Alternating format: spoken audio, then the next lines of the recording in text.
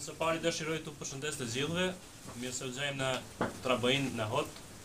Nikolla tha se është shpijak këtu, po unë gjithë ku shkoj në Malësi e ndiej veten si shpijak.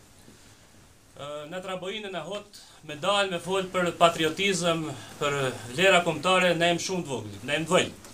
Na për këta s'kem dalë këtu, kem dalë se këto zgjedhje që po vijnë janë shumë të rëndësishme.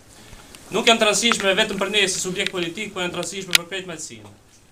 Pra, në qoftë se edhe ketë herë, në Tuzë mbetet ky pushtet, mbetet kjo strukturë që është tani, atëherë nuk di çfarë të them, por Malësinë nuk e presin ditë të mira. Malësisë i nevojitet ndrrim i strukturave. Malësisë i nevojitet një komunë në të cilën flitet shqip, dhe ky do të jetë synimi ynë kryesor.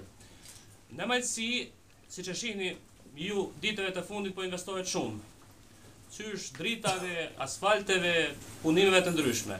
Të gjitha këto i ruajnë një javë para zgjedhjesh. Dhe të gjitha këto, për të gjitha këto partia në pushtet e merr meritën dhe thotë se ata, ata e meritojnë për këtë. Por qytetarët duhet ta dinë, unë besoj se ju e dini, Se ajo nuk është meritë e partisë në pushtet, po meritë e juaja, si taksapagues. Ju i paguani pra gjitha ato.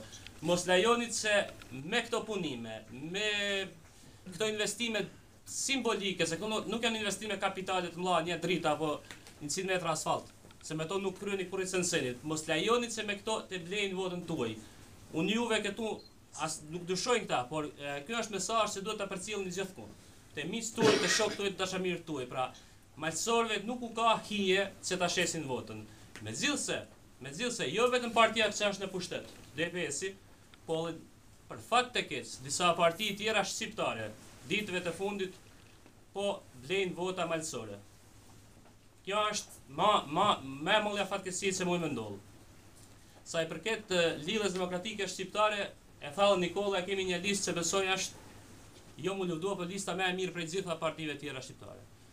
E kemi kryetarin tonë Nikoll Camaj, cilin besoj nuk është nuk është nevoja vetë me lavdua këtu apo po me glorifikua, por mund të them se asht politikan i vetëm shqiptar që tash 27 vjet qëndron dhe i mbron drejtat e shqiptarëve në Mal të Zi.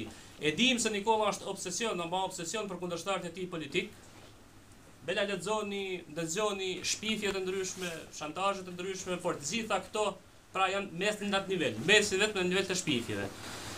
Prandaj edhe herë, ju falenderoj të gjithëve, ju ftoj që me 26 nëntor, ditën e diel, të delni në votime të gjithë, dhe të votoni vetëm Shqip. Të votoni Lidhjen Demokratike Shqiptare, numrin dy. Faleminderit edhe herë.